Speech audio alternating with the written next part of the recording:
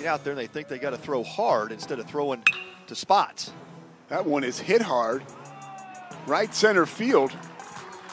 Pineda will go for two. Coming around to score is McKenzie. He is safe. Fly ball. Bussy underneath. Tagging to score is Pineda. 0-1 pitch. Base hit. One run will score.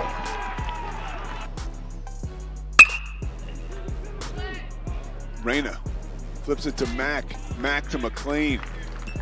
Off the board, so maybe they gave Wimpy. That one is deep to right field. No That doubt was a no about that one, yeah. Struck him out. Swing and a miss. Nice changeup. Good luck.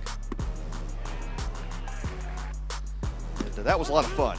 Just uh, being able to witness one of those live. Davila deals Nevin.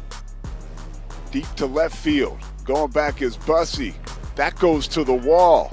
Getting it off the wall is Falk. Nevin rolling into third, sliding with a triple.